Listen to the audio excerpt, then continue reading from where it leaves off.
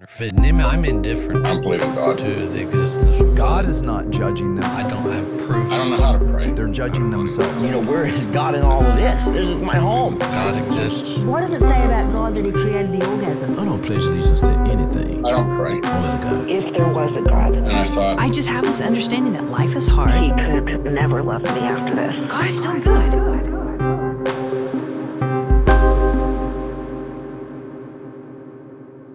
Well, hey there, Maybe God fam. Thanks for tuning in for this interview. Uh, today, uh, we're, we're recording an interview for a future episode of the podcast, um, an, an episode on addiction. And I've got a really special guest today, a friend, um, up to now a digital friend, but now a real friend. real friend. We've only uh, known each other on social media up to now, but I've uh, I've got the real honor of being joined in studio by uh, Russell Dixon, who is a, a former minor league baseball player, drafted by the Houston Astros, my favorite team. Your favorite team? It's still my favorite team. That's good. Well, Yep. Russell, thanks for being here. Thanks for letting me come and share just uh, what God's done in my life. I've loved following just what God's doing through you and the story. It's it's an honor to be here. Thank you, man. Really means a lot. So cool. So you grew up in Houston, is that right? I did. So, uh, born and raised, uh, my dad has been one of the executive pastors at Second Baptist for probably about 30 years. Dr. Young came in 1978. And other than the OGs that came with him, Yeah. um, I think my dad stepped on staff in like 1982 or 83. So, I uh, went to Second Baptist school there. And uh, you know, always had a love for sports at a young age, Right. and played played just about everything: football, basketball, and baseball. But baseball was always really my first love. And so, Really? yeah, it just, uh, my, my mom says that when I was probably three years old, she just was flipping a little soft ball in our living room and I just couldn't get enough of swinging the bat all day, every day. And so that was really all I ever dreamed of being was a, was a big league ball player. And so from a young age, I just kind of fell in love with it. Wow. Yeah. So uh, for people that may not be familiar, let's Mm-hmm. say they're not local uh, to Houston, uh, describe the Second Baptist world uh, as best you can growing up. So think of Six Flags and think of church all meeting, aka Six Flags over Jesus, is what some people affectionately call it. No, I'm joking, but it It's huge. it's it's huge. Um, you know, and I I, uh, I I it was all I knew growing up in. My parents taught me what it meant to know the Lord, love the Lord, and then serve the Lord. My dad's lane of ministry is a little bit different from, uh, you know, a preaching pastor. He's more of kind of the behind the scenes. And so I remember at a young age just kind of getting to be exposed to just what it takes to make the church run and Yeah. do, doing the hard behind the scenes stuff. Sure. And so, um, but but really had the privilege of seeing second, although I didn't know it at the time because I was so young. It was really in the height of the explosive growth of the church. oh, yeah. It's like, um, I think it's still like the second or third biggest church in the country. It is, yeah. It's it's really for sure Baptist churches. It's it's up there, and I want to say it's in the top ten uh, of just largest churches in the country. So it's got a big school attached to it. big school, and that's and that's where I went all Right. growing up, and so I was definitely immersed in the bubble. Is another way of describing it. Why do they call it a bubble? What are you What are you bubbled in from? You're in a- in some ways you're bubbled in from some of the things that the world uh, throws your way, and uh, you know that was a, a big part of my story that I know we'll tackle here in a minute. But uh, it, it was all I knew. I mean, it was kind of the world I lived in, and uh, had had friends that I've had friendships that I've known for my entire life. Like my three best friends, we've been friends since we were in pre-K. So really? Even though it's a huge place. it's a huge place. The, the church is a lot bigger than the school. And so some of my closest friends were friends that went to church there, but also went to the school. And we just became friends in like first grade and have continued to stay close and still Yeah. talk all the time. So I went to worship um, one time. I think I've been to 2nd Mm-hmm. Baptist, and it was a great experience. It was a little overwhelming mhm. because just the footprint of it is Mhm. enormous. Mhm. But everybody there is like a small church person. Like the staff that welcomes you, the children's ministry lady is like, you're the most important person in her world. Yep. Yeah. Like she went out, I will never forget it. She went out of her way to like walk us around the campus and awesome. on a busy day for her, you know? Um, and then afterward, it was like, yeah, it was thousands of people there, but it seemed like everybody knew somebody. Right. So it was like groups forming. And you know, the criticism of churches like that is always that they're cliquish or whatever. Right. But what I see is community. Yeah, and they, they they do a good job of trying to keep it like make it feel small. They're one of those churches that still have the the Sunday school model, and Yeah. so it, it it definitely is big in the worship service. But for those that really want to get involved, you can really know. You can't know everybody, Yeah. but you can be known by somebody, Okay. and so that's kind of what they've tried to do over the years. So there's a, I mean, on top of that, in that bubble, you lived in the the bubble inside a bubble, Right. being a preacher's kid. That's right. Um, was that a typical preacher's kid experience where like you're lifted up on a pedestal and you're not supposed to like get in trouble like other kids do? Did you feel that pressure? Definitely, especially because my dad's role uh, at the church has kind of also been the disciplinarian, if you Really? will. Yeah, like my dad's the guy that like don't get in trouble or Mr. Dixon's going to find out. Ooh. And so that was that was something that I always uh, just kind of had that looming over the life in the fishbowl. I know you're a PK as well, and so you know it's we, we definitely have that. Uh, that kind of looking over our shoulder, feeling like our dads are watching, and they're going to find out that we're in trouble even before we knew we're That's in trouble. right. You made a lot of deals That's right. with people that caught you doing stuff. That's right. If you don't tell dad, I'll Yeah, give you right. some bubble gum or whatever. It's like you gotta you gotta That's right. negotiate. Totally. Yeah, I mean, and it, it can breed kind of resentment over Definitely. the years, I guess. Um, that's why preachers' kids Mhm. are notorious. That's right. And it's, you know, I don't know that I really realized, and the environment I grew up in was great, but I don't know I, that I realized how much of a bubble it was until I went to college. And that's, that's really when I guess in some ways the veil was lifted from my eyes. And, you know, I think there's, it's such a hard tension because now that I've got kids and they're, they're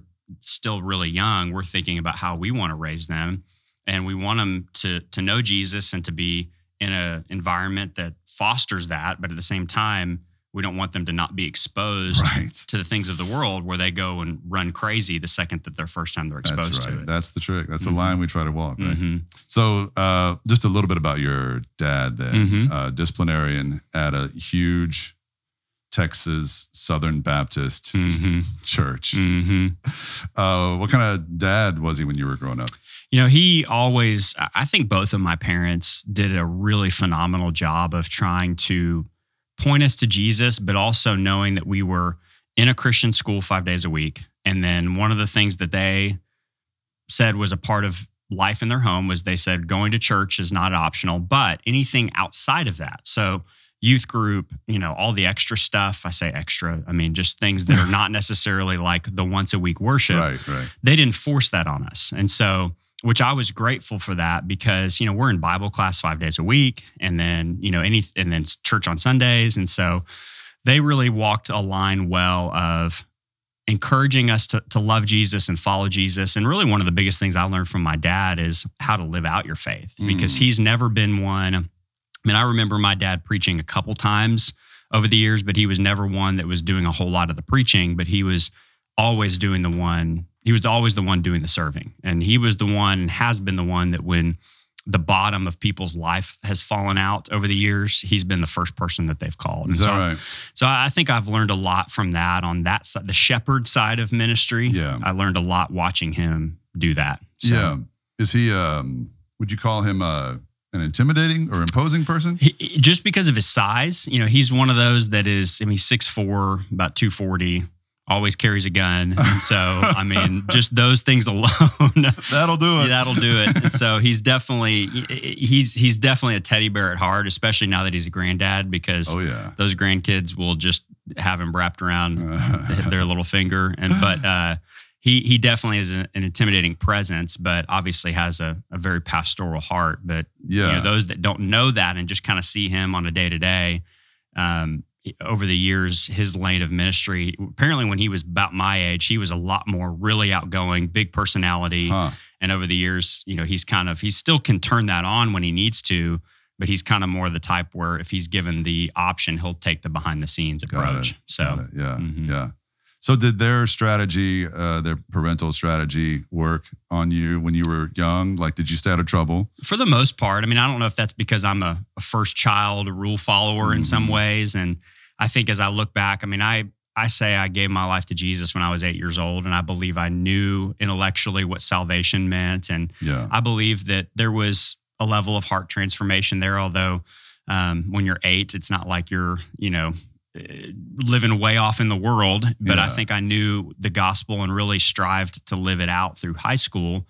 Um, and so I think that they really did a good job of setting that example of, of what it meant to really know and love Jesus through how how you live. And Sure. So, but I I think the big part of my story is that tension of the line of being in a good environment to foster Christian growth, but also being exposed to some things that you know I wasn't exposed to until I went to college. The bubble. The bubble. So Yeah. how do you, how do you walk that tension? So yeah. And how young were you when you realized, or your parents might have realized, that you're just really gifted with uh, sports, with baseball? I was probably, I don't know, I was probably nine or 10 years old when I realized that I think that, and, and I also was not the kid when I was younger that was just naturally more athletic than everybody.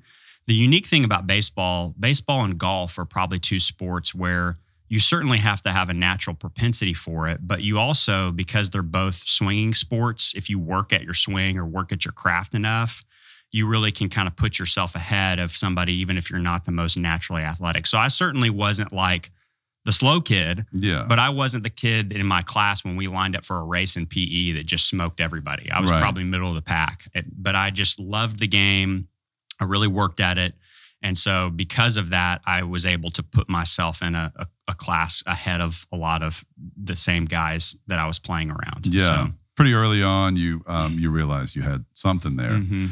and through high school, you were looking to go to college and play ball. Is that Mhm. or you're on that fast track? Yeah, and I I, uh, I was fortunate that I had several guys that were a couple grades ahead of me because when I was growing up, the there was a point where I almost went to public school because there was kind of this whole can you really get noticed by colleges if you're at this small little Baptist private school. Right. But I had a few guys that were ahead of me that really kind of paved the way for what it could look like to be a, a great ball player and get recruited by schools. And so that helped me have the confidence to stay there at second. But I mean, I started on varsity as a freshman.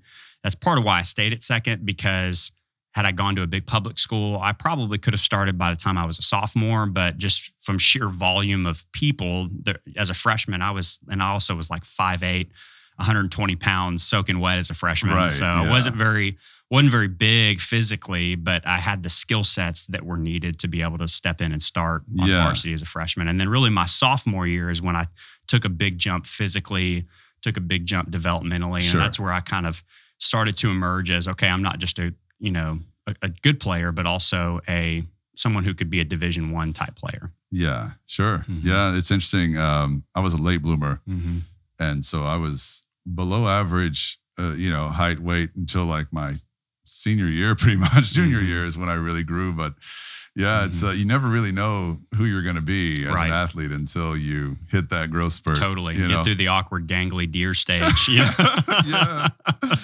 But man, it's hard to make it in baseball Mm-hmm. because you've got to play every day, and um, your family's probably taking you to some trip, uh, Mhm. some travel team Totally. obligation every week, right? Totally. And that was the life from 10 years till really through high school. Every summer was tournaments throughout the summer, and we're driving all over the country. And my parents were laughing, sharing stories about because my sisters played basketball. And so they were doing some tournament stuff as well. So there were stretches where mom was taking sister to a basketball tournament in Florida, and then they were riding with a family back to Louisiana and, and then jumped out of the car and jumped in our car to go to a, a baseball tournament of mine. And Yeah. so that's Wow. I have three younger sisters, and so that's just kind of the life we lived Yeah. for years. And looking back, I'm amazed that my parents made it all work and juggled it all, and then also still tried to make church and doing life, you know, outside of sports a priority as well. Sure. It's a huge sacrifice Totally, for these families. totally. I mean, you see it like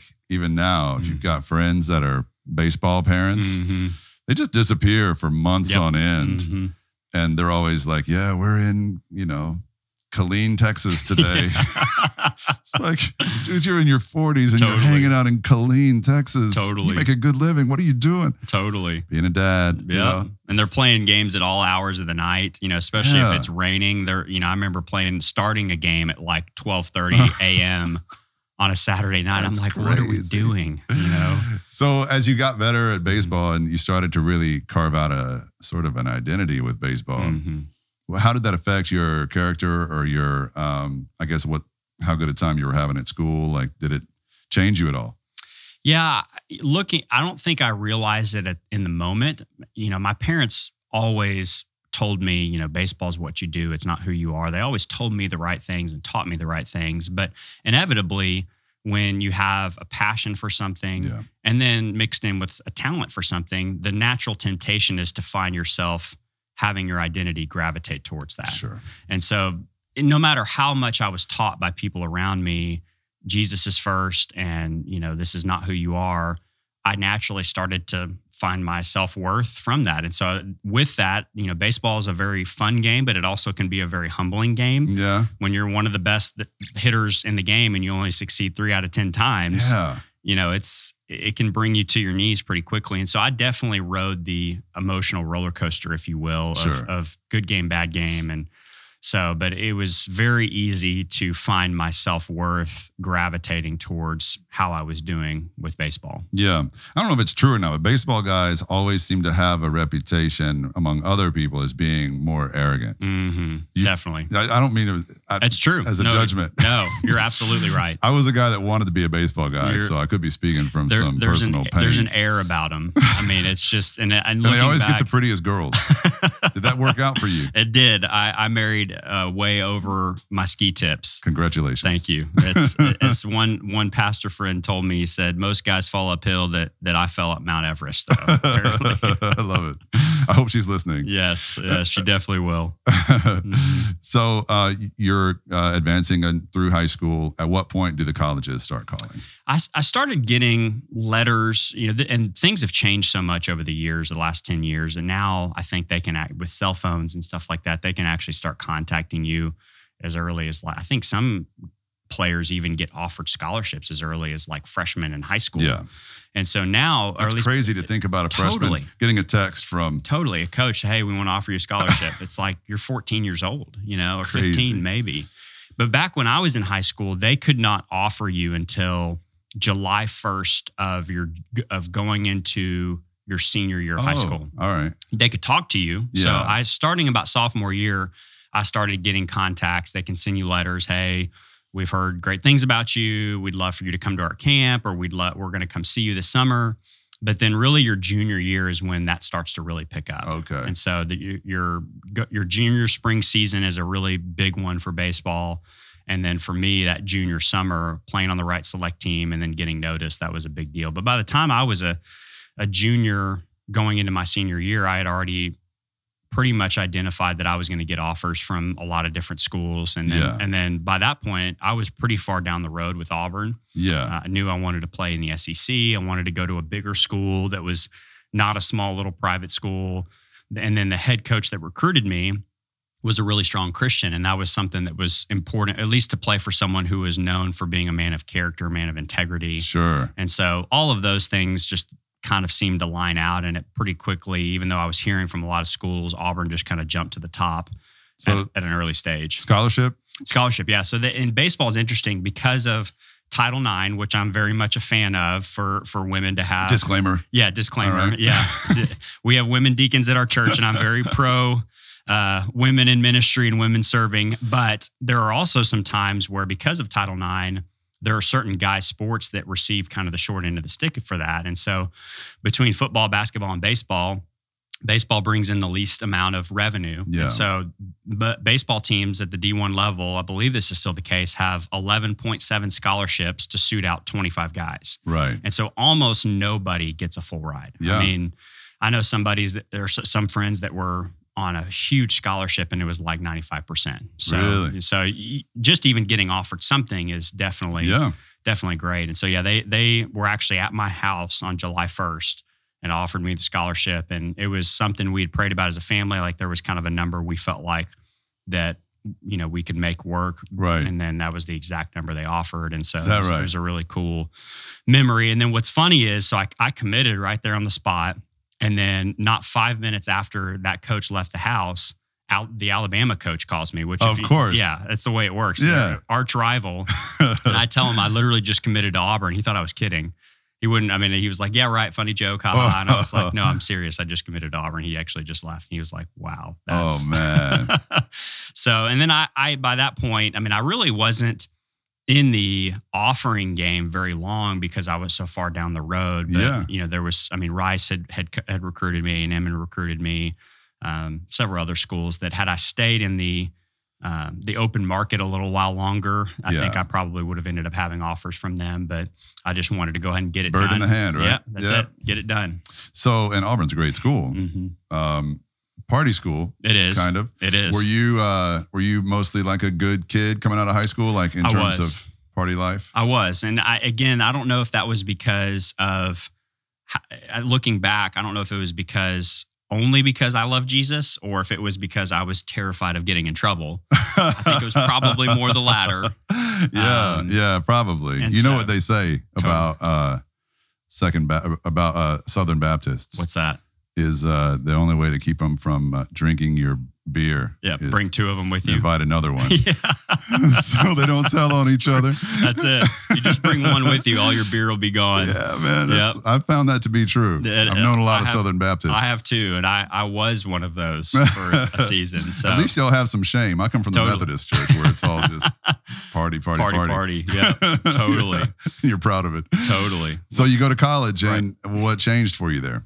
So my freshman year, really tried to stay strong with my faith, but I immediately was thrown in that baseball world, which is a party, party, party world, Uh huh. and immediately started to feel the peer pressure of, you know, by that by that point, I didn't drink until I was almost a sophomore in college, and it was a balance of faith, but also, you know, some level of fear as well, and just slowly that being only surrounded by people that were not really pursuing their faith at all Right. that starts to wear on you. You know, my Yeah. dad used to say, "Hey, you know, just you have to be cognizant. Not saying you can't hang around with those guys at all, but if you're not going and building some relationships outside of the baseball circle, if you're not getting involved in a local church or a local ministry, Yeah. you're eventually going to find yourself being pulled down." And that came to fruition in my life. And really, it was probably towards the end of my freshman year, going into my sophomore year, where I kind of went out and, I mean, frankly, got drunk for the first time in my life. And I was like, this is what have I been missing?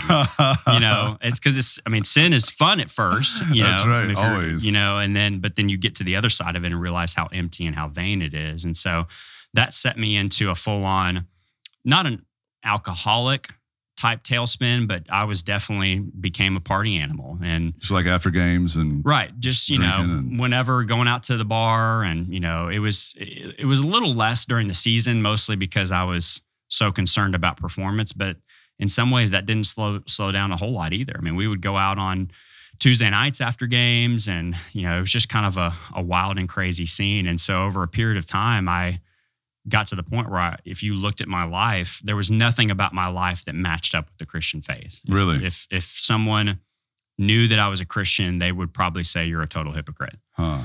And so Were you I, still praying and stuff? I was praying and I would I would kind of pop into church from time to time Yeah. and I would go to baseball chapel, but in some ways, um, it was kind of more of in a, in a what I would call a, I heard Lance Berkman use this term a rabbit's foot Jesus theology, where if I Mm. go to church, if I go to chapel, then God will help me get three hits. You know, it was and and I would never openly admit that, but deep down, that's absolutely how I Rabbits. felt. So you just Yes. rubbed like a, almost like Yep. a genie lamp. Totally. Yeah. God, if I go to baseball chapel, then please let me get three hits today. You Yeah. know, so it was um, very much of a just a there was there was cracks in my faith. You know, without even realizing it, there was just not a, a, a proper sense of who God is and, and what His plans were for me. And so, You were in college too. Right. It's like we can all look back on our college days and kind of be judgmental from our perspective. But totally, you know, it's part of part of what college seems to be there for is like to go through some of this Mhm. stuff and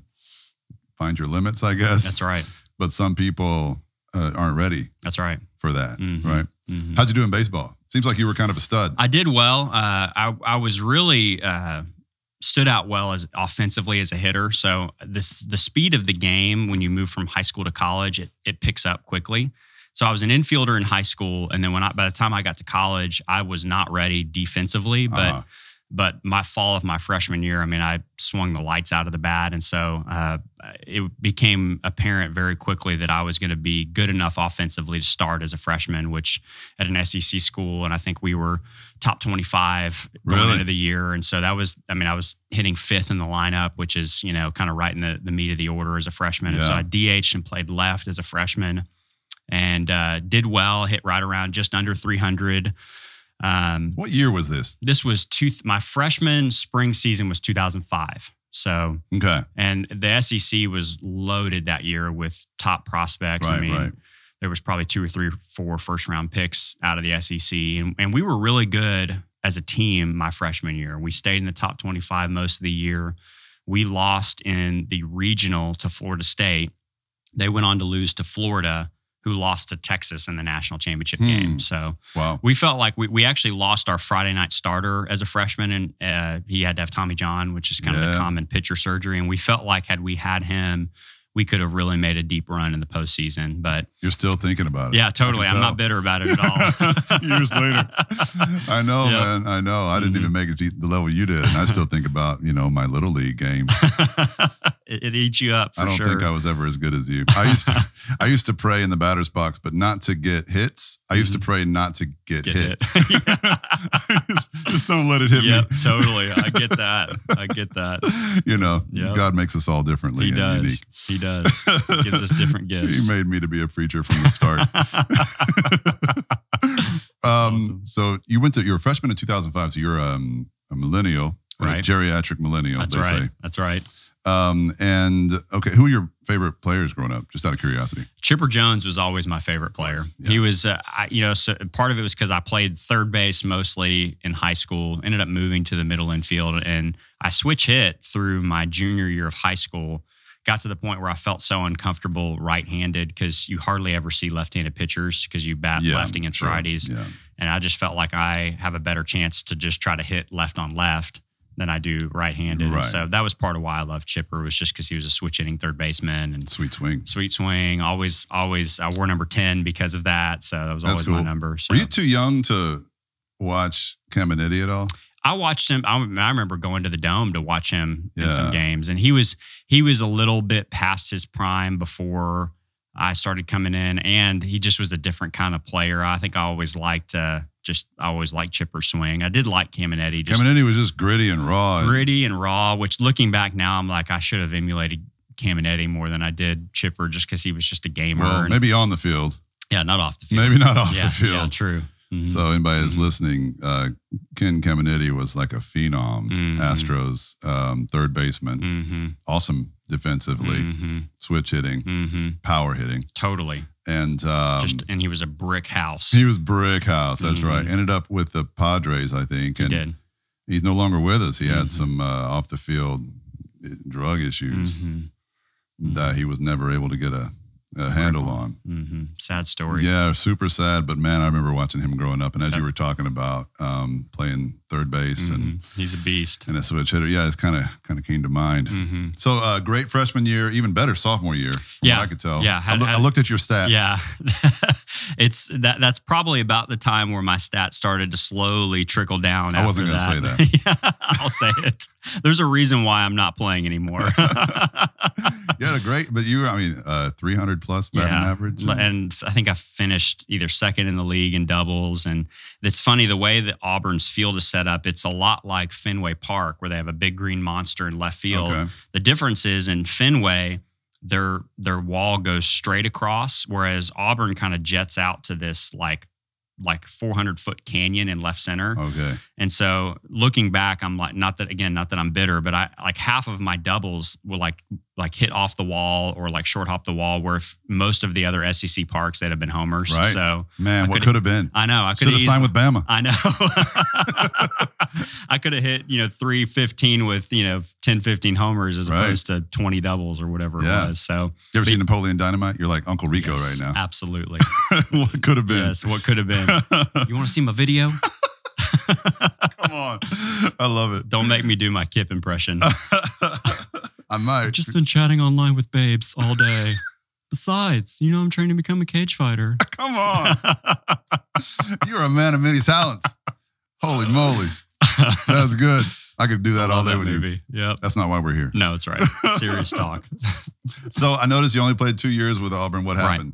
So junior year uh, was going into the year. It was our last inter squad before the season started, and uh, we had a left-handed pitcher that kind of threw out for his delivery was kind of behind you. Long story short, he threw a ball up and in. I tried to back out of the way, pull my hands right into it, and it breaks my thumb.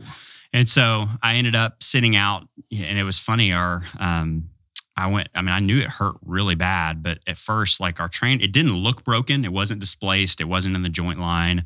And so our trainer looked at it and he was like, "You're fine. Get back out there." And I'm like, "Dude, this hurts really bad." like, and so finally, I went to go get an X-ray on my own, and sure enough, it's split like 90% across the bone. And so I knew I was going to sit out until I was healthy. And so me and my college coach talked, and we realized, hey, it's probably better for me to just redshirt this year because Mm. probably six, seven, eight, nine weeks had gone by, and they Auburn actually that year jumped off to a really great start before conference play. They were like 18 and three, up to number three in the country. Yeah, So they, in his mind, he's thinking, I think we're good. Let's save Russell for next year. sure. Well, then they hit conference play and have the biggest crater in the history Oh, of craters. And so, but it actually was a good opportunity for me to step back and really evaluate the program, just as far as, you know, our coaches' leadership and um, just all the different things that were going on. And Yeah. um, I love my college teammates, but there was just a lot of, it seemed like there was a lot more focus on off the field shenanigans than there was on the field. Was this the same coach that had recruited you? So it's different guy. So the guy that recruited me got fired my senior year of high school. No. Almost didn't go to Auburn. They give you the ability to back out. But as a freshman, I went to orientation. I met some friends and I was like, you know, I picked this school for more than baseball. Let me give it a shot. Yeah. And then, so I had done well in baseball. And so I thought, well, eventually me and my coach will start to get along. But we just, it just kind of kept getting worse and worse. And so, Really? and then really once I was hurt and could step back and really kind of not be in the thick of it in the fray, I just realized, man, this is, I don't know that this is the Auburn that I really committed to. I mean, it was to the point where when I would come home to Houston and talk to other friends that were professional baseball scouts, they would say like, "Hey, how's that three ring three ring circus of a program you're at?" And it's like, okay, this is not just me, And you were like a step kid in it because Right. you weren't his guy. right?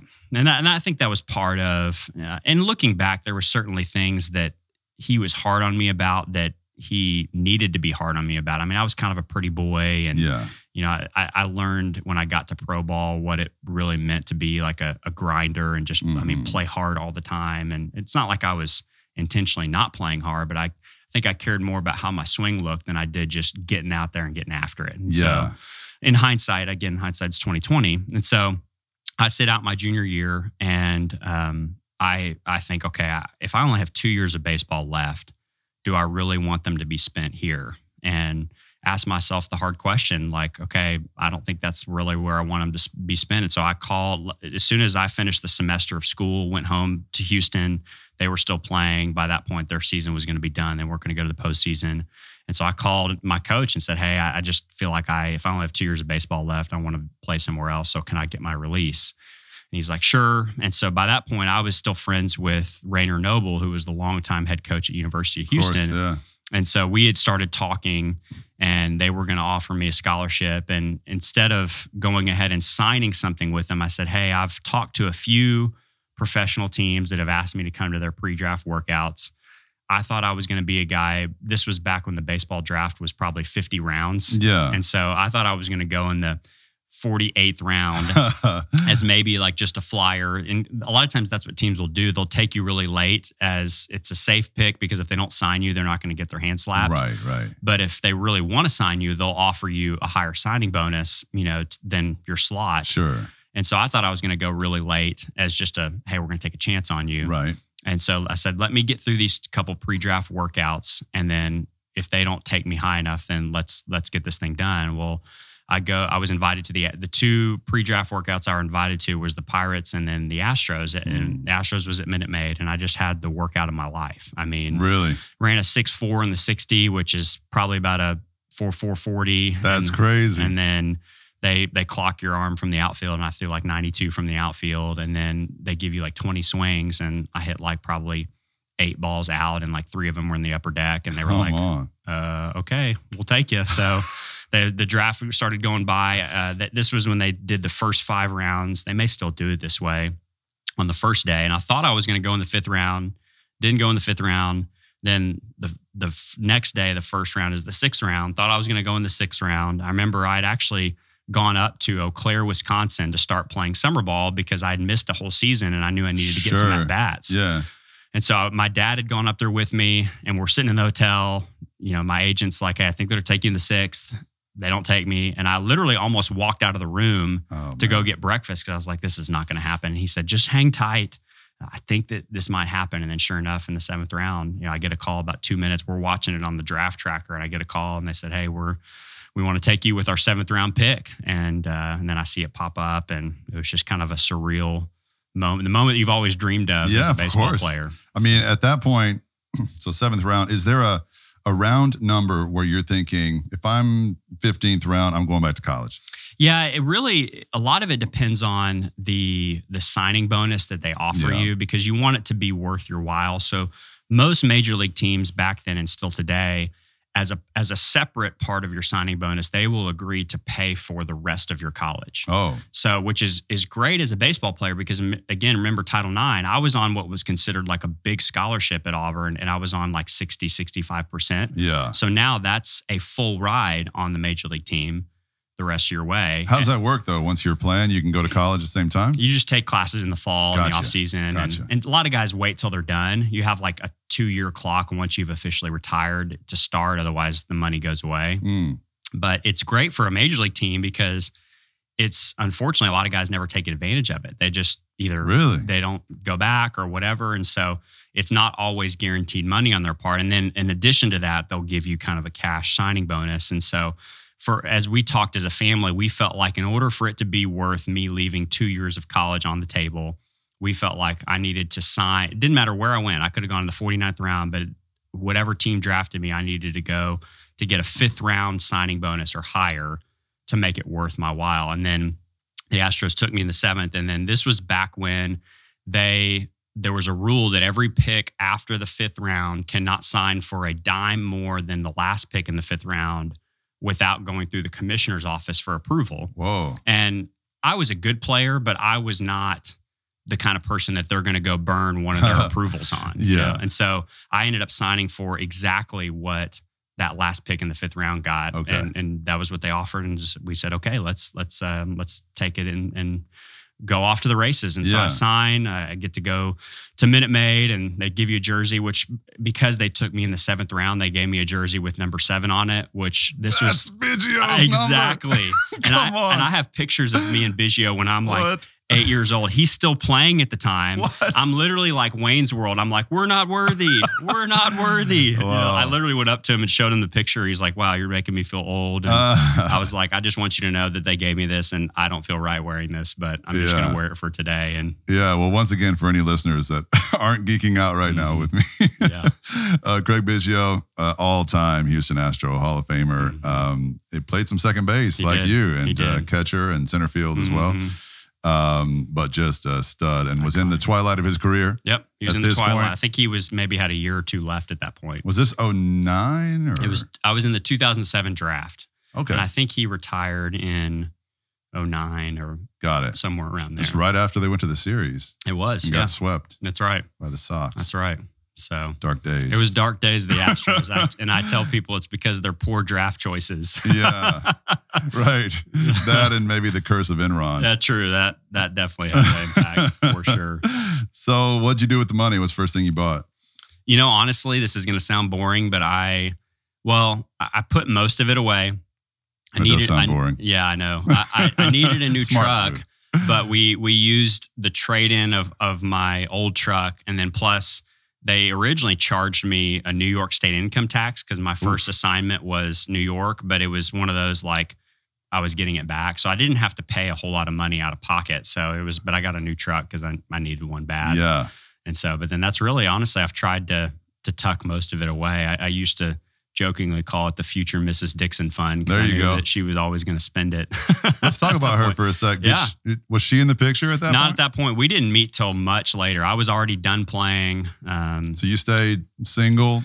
I dated around a little bit, um, but nothing, nothing really to write home about. I, I say that there was when I was 23, I was in a pretty serious relationship that actually was basically to the point of engagement, and uh, ended up the, the girl broke it off, and Mm. right, the, we, we weren't actually engaged, but.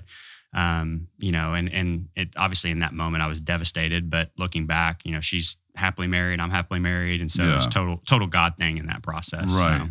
So at that point, you're thinking you're going to be a just like a major league ball Mhm. player. Mhm. Like you're set. Right. And I thought I was gonna, you know, try to use that as my platform to to be a light for Jesus. And So you'd come full circle with faith at that I point. had, and and I really feel like in pro ball, and again, I don't know. I wish I could tell you I was fully confident it was solely because I wanted to be fully devoted to following Jesus, but I also there was this other element of not wanting to jeopardize my career. Hmm. And so I, I in pro ball, I really feel like I tried to walk that line of being in the world and not of it. I still would go out with the guys and I would still casually drink, but it was not to the craziness level that it was in college. Yeah.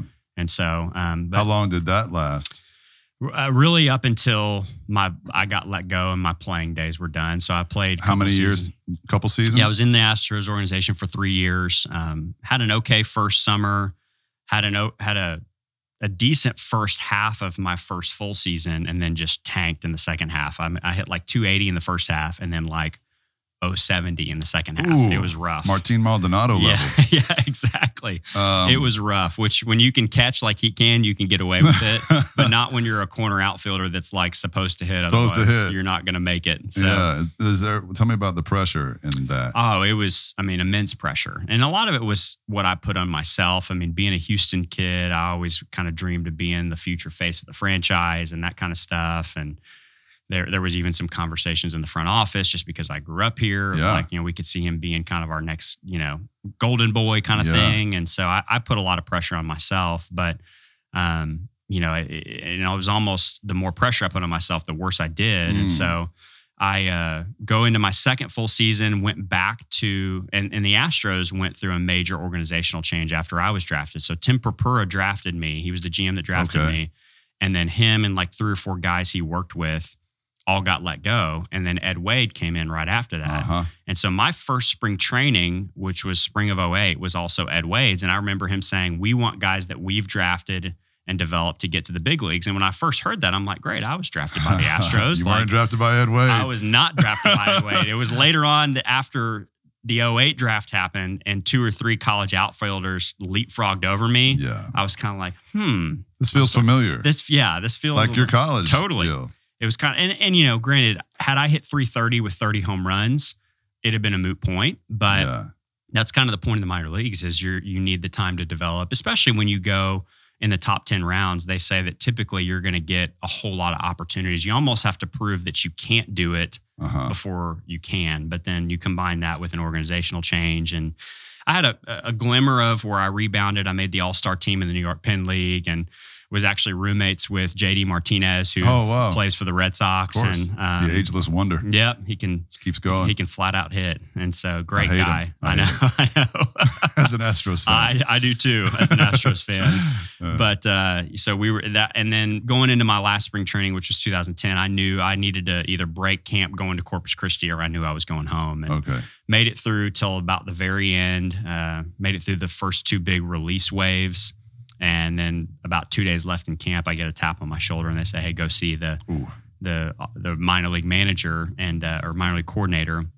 And I thought this is either really good or really bad. And I Yeah. walked in, and Tal Smith, if you remember Tal's Hill, I do remember that vaguely because he- I, I didn't I didn't know about that until I moved here. Yeah. So he was the the president of business operations for a long time. And the guy who was my agent is a great godly man. He was he was in that role for years and then stepped away to become a sports agent. So there was a lot of interface with him in the front office. And Okay. so I walked into the minor league coordinator's office and Tal Smith, who's the president of the, the big league club, is sitting in the office. And I'm like, okay, this is either really good or really bad. And then they start to say, you know, hey, we love you as a person, but Yeah. you're just obviously you're not hitting. And so, Oh. yeah, it's time to let you go. And so I uh, I spent about a year at that point doing indie ball. It's similar to um, I know the Skeeters are now I guess they've changed their name. The Space Cowboys. Space Cowboys. And they're now the AAA affiliate of the Astros. But for years Yeah. they were an independent team where you're still getting paid to play Sure. but you're not affiliated with a major league team. And so I did that for about a year, but it seemed like every door that opened immediately shut. And Okay. so I guess flash forward to May of 2011, I finally realized it's it's time to hang it up. I had signed with an indie team in Roswell, New Mexico. Ooh. I mean, weird place, really weird place. And granted, I was the the downward spiral. I think was starting for me. You know, Yeah. I was starting to run back to to alcohol and and Were all you? that. Yeah, just you know, it wasn't quite to- Coping. coping, and it wasn't quite to the full blown alcoholic level yet, but it was definitely heading in that direction. And Did I you get- know it? I felt it. I, I remember thinking and being around the wild baseball guys, and like they're all passed out, and I'm still boozing, and I'm like, this isn't normal. Yeah. You know, like th- these are the wildest guys of the bunch, and I'm, you know, running laps around them and like taking pride in it, and and then also at the same time claiming to love Jesus, and Ah. it's just this weird dichotomy there. Right. And so I felt like, okay, this is enough's enough. It was basically a glorified men's league at that point. Yeah. And so I hang it up and go home. And Can I ask what? Yeah. What were you making at that time? I mean, a pittance. It was basically like, you know, those leagues you're making, I mean, maybe 500 bucks a paycheck. You're probably having to live with a host family. So in the minor league level, I was making probably 1200 bucks a month. Okay. You know, but you're again, ideally you have a host family you live with, and then you're working odd jobs in the off season. And I lived at home to save money. So it's it's very much feast or famine. I mean, they set it up that way where you're either getting up and getting to the big leagues or you're getting out because Yeah. it's, it's hard to make it financially if you're not independently wealthy. Right. So Where's the booze coming from? you know, Must some of it's some some of it's Light or something. yeah, some of it is you know off season baseball lessons, but then honestly, one I mean, I started dipping into my bonus at that point Okay. you know, especially once I I hung it up and retired, I started having to pull out some. And I was working an odd job for a family friend, and I thought I wanted to end up in college coaching when I was done. And I did go to Hardin Simmons the fall of 2011, um, which was it To was a- coach. to coach. Yeah, coach their baseball, just small Christian colleges, you know, Yeah. in Abilene. And honestly, that was um, because of my own personal choices, and it ended up just throwing fuel on the fire. What do you mean? Uh, just the, the the pending addiction and alcoholism. Just I'm a single guy. I'm frustrated about my baseball career being over, and I'm in Abilene, Texas, and Mm. it's not exactly a thriving metropolis with great single Christian groups. You know, It's not Roswell. right? And it's not definitely not Roswell, definitely not Roswell, but Could get worse. yeah. So, But but, I then, and I was in this weird place of like not being one of the college players. And so I, I've got to keep a little bit of a distance from those guys because I'm their coach, but also I'm not going home to a family every night. Right. And obviously, because of the, it was ultimately because I was choosing to turn to an empty vessel, th- why I was heading down this way What do you mean?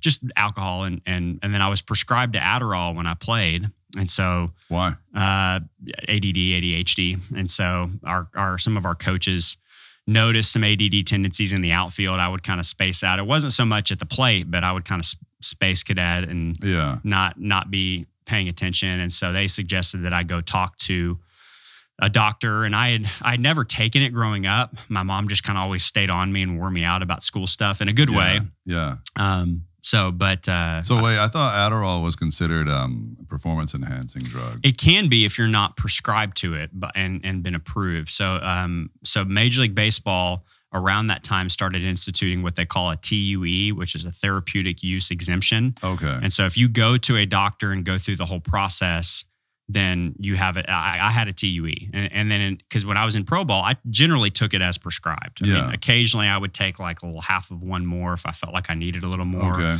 But it wasn't. What did it do for you?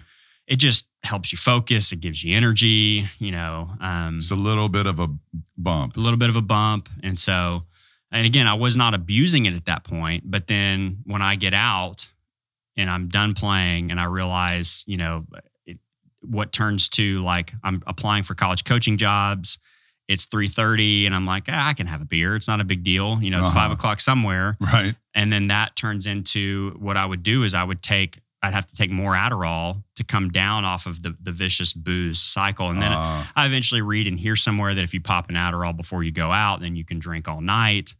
And so i started doing that. I mean is that true? oh yeah.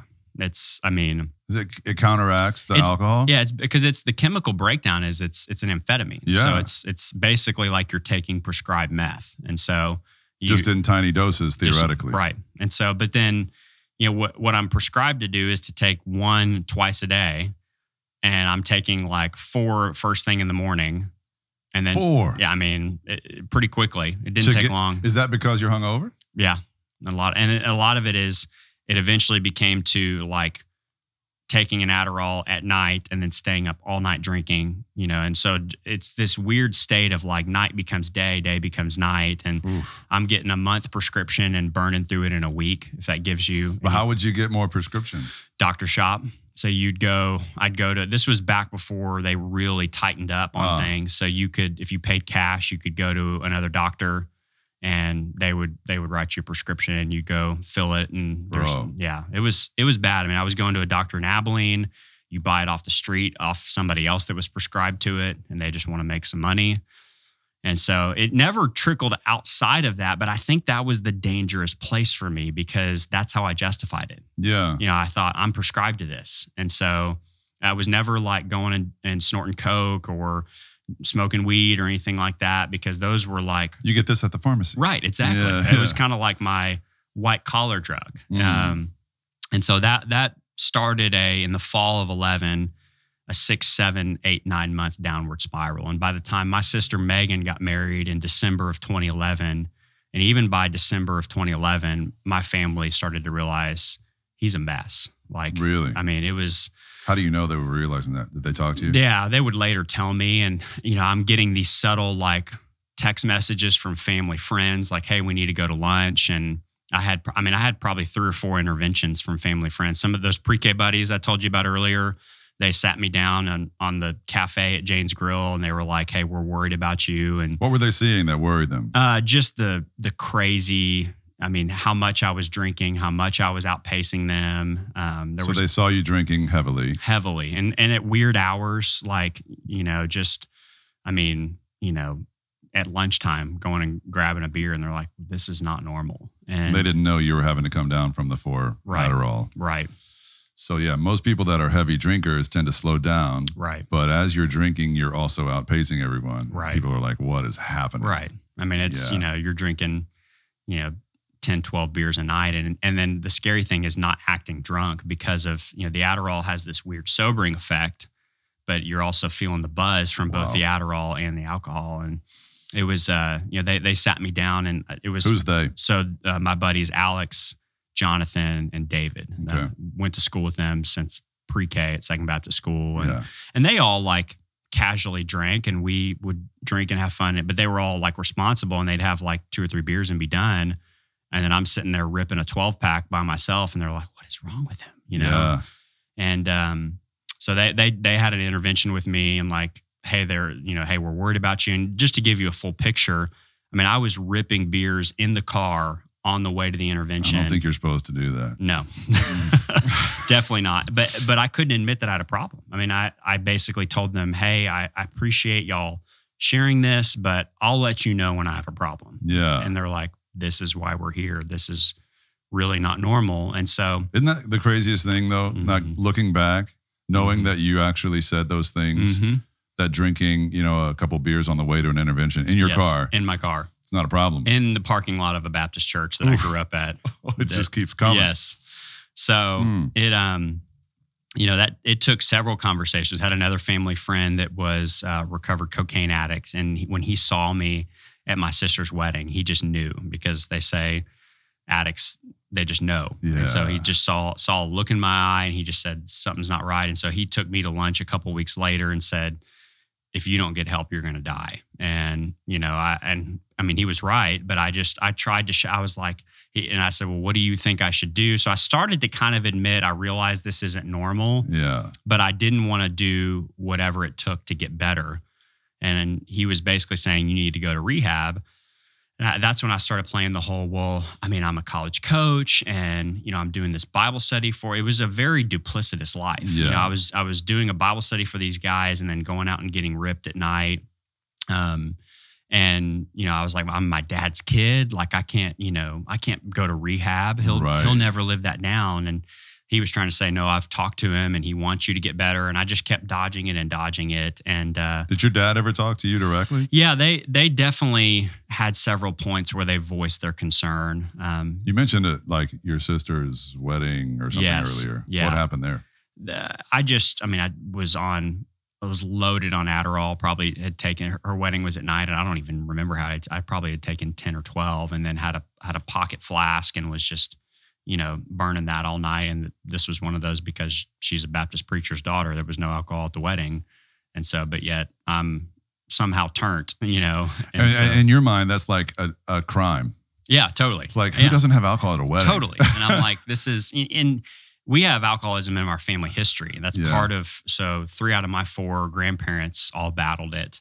And that was part of why my parents always encouraged us to stay away from it. But when you're a kid in their home, you think, oh, because it's Satan's juice, you know, Uh-huh. and because we're Baptists and because it looks bad. But that really, in hindsight, wasn't the heart behind their message. It was like, hey, we don't want you to become what we've seen in our family. Right. And so, um, yeah, they just they, they had tried to approach me around Christmas of that 2011, and then I go back to Abilene in January, and I had kind of one of those two or three day benders in January where I ended up having this crazy, vivid, like I don't know what you want to call it, like dream hallucination that I was driving and I was under the influence, and we got in a wreck, and my sister died. And I like wake up screaming. I call my dad, and he, he knows by this point, like something is really wrong with Russell. And so at this point, I go, okay, I realize something's not right. I'm fully dependent on the Adderall, but let me try to just quit drinking cold turkey because I Mm. realize I can't do the Adderall and drink like this. And I was actually successful at removing the Adderall, but my whole life at this point, Wait, because wait, I- the alcohol or the Adderall? the alcohol. Okay.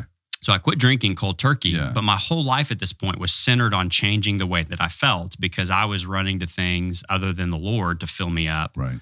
And that's what they say in AA, you know, you're you're completely hooked on changing the way that you feel. And so instead, just to counterbalance it, I'm taking more Adderall. So I start taking even more than I already was. It's counterintuitive. Totally counterintuitive. Seems like you would need less. Yeah. And you started taking more. started taking more. Uh, How much more? I mean, at least five or 10 more a day. I mean, to the point where flash forward to March of 2012, and this is kind of when things hit rock bottom. My coach that I was working for in Hardin Simmons sent me to Houston to do a recruiting trip. And the doctor, I, I went doctor shopped and got a three month prescription. So 180, 30 milligram. They do Adderall. that? They used to, not anymore. Probably because of crazy people like me. Yeah. And so I started, and it wasn't like I was, I never would say I wanted to kill myself, but I was miserable. I mean, Uh-huh. I knew I had lived in a place where there, I knew there was a better way. And I mean, I started taking five or I would take four or five at a time. And over a three or four day period, I, I think I ended up taking like 70, 75 Adderall in like three or four days. Jeez, Louise. I mean, most doctors said I should have gone into cardiac arrest. I didn't sleep a wink. By this point, I'm incoherent. I, I no showed for a couple of the games I was supposed to go to. My phone's off the grid. Parents are trying to get a hold of me because I was staying at their house, but they were on a trip to see one of my sisters. And it just, I was, I mean, the epitome of strung out. I Yeah. mean, and they finally, I finally get enough phone battery to to get my dad on the phone, and he just said, "Russell, please don't go anywhere." I mean, he Mm. knew I was messed up, and then he asked one of his police friends to even come by the house to do like a well check on me because it was so bad during that stretch where I was off the grid. My dad legitimately thought I had had a heart attack and died in the house, and so right? he didn't want to come back home and find me like that. My but I was. By the grace of God, I was still alive. And then not long after this police officer did the well check, my parents come home. And I knew at that point, I knew in the depths of my soul that if I didn't surrender, I was going to be dead. Yeah. It was a miracle that I wasn't dead already. And so literally they came home and they could have said, do anything, and I would have done it because I was so miserable with how I felt. And they said, Russell, we think you need help. And I said, I completely agree. And I was willing to do whatever it took. And so that Were night, you? yeah, that night they said, we think you need to go to rehab. And we loaded up and I drove down to Bay Area Recovery Center in Dickinson and, and checked in. Really? hmm So, um, before that time, Mhm. when the addiction was ramping up, how long could you go without taking Adderall? I mean, probably not more than a day. And if I did, I would I would basically sleep all day. Like that you was would just sleep. I was just so exhausted from being used to having this external ramp upper, if you will. And I know that's not a word, I just made it up. No, it's, it makes sense. Yeah. We talked um, w- for this same episode. We talked to a doctor, a Mhm. researcher, Anna Lembke, Mhm. who wrote Dopamine Nation, and she talked about how basically we're all constantly high Mhm. on dopamine release at this Mhm. point. Um, obviously, you were for obvious reasons, you know, with the actual substance you were taking. Mhm. But the rest of us are constantly seeking an, the next micro high or whatever, just even by reaching for your phone. Right. Um, we just can't be bored and Right. still. Mhm. We can't let ourselves just be. And it's interesting because you had such a tangible substance to Mhm. take away, to take out of the equation, you're able to see exactly in the moment what your body was missing. Right. Because your first body, your body's first response is then to just go to sleep and shut it down, which is what Mhm. you needed. Right. You needed to shut it down. Totally. And you needed to do that regularly, but you hadn't done that for so long Mhm. that you take the substance out for even a moment and your body's like, Yep. shut down, Shut down. shut down time. And that's literally when I checked into rehab, they said I slept for like three or four days straight. Yeah. Yeah. I hadn't eaten and I sometimes wonder if you take people's phones away for a Mhm. day, would they just sleep? mm, maybe. I mean, it's it's it's scary. It's after scary. they get over the withdrawal, right? totally. so let's talk about that Yeah. part as you as you check in in Dickinson. Mhm. Um, I've seen in other things that you've uh, other stories about you that Mm-hmm. uh, that you speak well of that time. But was it? It could not have been easy at the start. oh no. I mean, it's because What's the come down like? I mean, it was it was crazy, and you know, you felt like you got. I woke up and felt like I'd been hit by a Mack truck. I mean, just you know, and you wake up and you're like, "What in the world have I done?" And you know, I'm at the point now where my dad has to call the college coach that I'm working for and say, "Russell just checked into rehab, and I can't. He can't come back and finish the season." Yeah, And so, I mean, it just was, it was the, the ultimate moment of humility where you're just lower than low and uh, you're in Ashamed. And you're around a bunch of other people that their drug of choice was maybe a little bit different, but all in the same place Hmm. but I'm so thankful that I had been so humbled in that process. You know, there's a there's a, a line in the 12 steps. It's, I believe it's in the first step where it says, be, had become powerless over alcohol. And that part I was never really able to admit because I'm an athlete. I'm not powerless No, over anything. Right. Yeah. But the thing that struck me, there's a line that says, and our lives had become unmanageable. Yeah. And that hit me like a ton of bricks because I knew, I mean, I had a mountain of trash in the back of my truck. Like, what kind of savage does that? Yeah. And just because I was such a mess, I couldn't even take the trash out of my truck. Hmm. And so I knew in the depths of my soul that even though my drug of choice was different than some of these guys that are heroin addicts or whatever, I knew I was one of them. And Well, there's nothing more dangerous when you're addicted or when you're a mess to have someone who's a little messier to look down on. mhm, totally, Because then you can feel like you're normal totally, by comparison. totally. Well, I'm not as bad as him. Right. So And we we take a lot of false assurance from that. Totally. And that's where I don't know. I, I really have to believe it was the Lord just continuing to put me in a place of, of humility because not one point during my time in rehab there did I ever have that attitude. I, I had, rather, I had every time I went into a, a meeting or a group meeting, it was as I would hear someone else share, I would think, man, that's me. Like Hmm. it's different places, different choices, different drugs, but that's me Really? and I just knew it. I mean, it was like God was using the 12 steps in such a profound way because it took all of the the stuff that guys like you and I grew up under Uh huh. and just made it simple. Yep. Just made it simple. Man, I've never had any like substance issues, thank Mhm, God, because I I've never I've not always had the highest character Mm. in my life, and I've Mhm. always been prone to impulsivity, Mhm.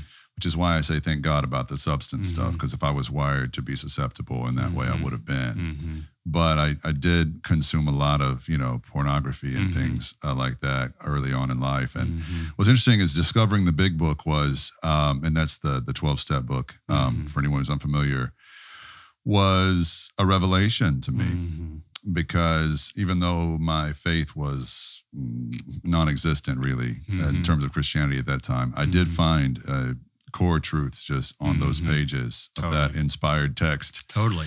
Um, that although it was written about alcoholism Right. or drug addiction, uh, it was my book, Yeah. my story. Totally. Because even with porn, it worked the same way. Totally. And that was, I mean, addiction has various tentacles. That was certainly something I I battled as well. And it was the craziest thing about it is when when I surrendered and started working the steps, it was like God set me free from all of it. Yeah, I mean- really. I mean, just and it was, but it was not a all at once. It was as I worked the steps, as I had a a very very honest step four of fearless and searching moral inventory, where I really at Bay Area they tell you to write everything down. I mean, where were you selfish? Where were you dishonest? Where were you fearful? Where were you resentful?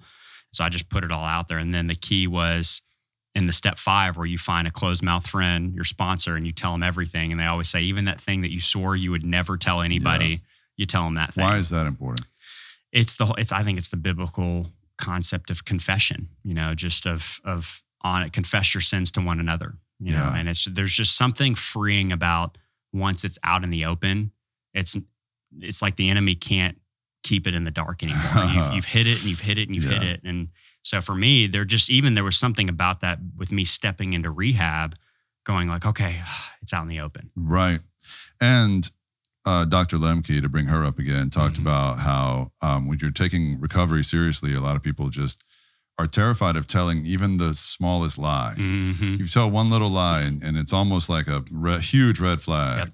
Um, which is eye opening because it, first of all, speaks to how delicate a situation sobriety can be. Right. Um, but it also speaks to, I think, how sobriety is uh, all or nothing, It is. and sobriety and transparency go hand in hand. They do. Um, and if you, it's not just about telling new lies, Mhm. but keeping old ones That's right. secret. That's right. And I've walked a lot of friends through recovery, and I've been through it, obviously, with Mhm. my own addiction in the past, but Mm-hmm. where you don't even remember what you forgot Mm-hmm. Until later. That's right. And it's not that you've been hiding something, but when it comes to the surface, you better tell somebody. Totally. You know what I'm saying? No, totally. This is something only addicts will probably understand. That's right. like um, a memory that you've kept way hidden Mhm. from yourself Mhm. will come back, and and then lest it eat your lunch, you better tell somebody. That's it.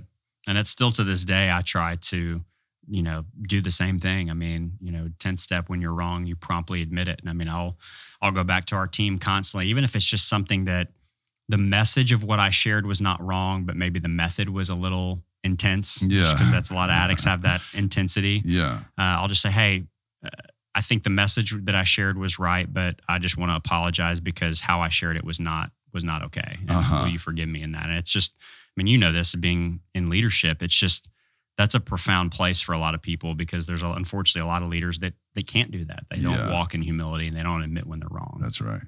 So what? As you went through that time, was it three months? Three months, yeah. Three months, a long time. Mm-hmm. Um, what did you learn, especially about your own um, story and baseball and all of that, and how it mixed into Mm-hmm. the uh, the issue of addiction? you know, I realized just how big of a idol and a god I had made that in my life. Um, you know, just how how much I found self worth in that, and you know, again, was always taught the right stuff, but had never been confronted with the reality of what is that like? Like, who am I really? Just with me, am, am I truly? Do I truly see myself as a son of Jesus, like a son of the Most High? Yeah, you know can i rest in that am i a child of god first and not well he's russell the baseball player but he also loves the lord Uh-huh. so so i learned a lot about that and then i learned a lot about humility and i mean more than i realized even though in the grand scheme i really wasn't that good because if Uh-huh. i was you know there's some truth in the fact that i'd still be playing i mean i i would never openly profess this but inside i thought i was the man I mean- Sure. i mean thought i was god's gift to whatever and so that was something beautiful about the program is they teach you to die to yourself and Yeah. to pick up the trash on the ground. And like in Bay Area, they don't have housekeepers.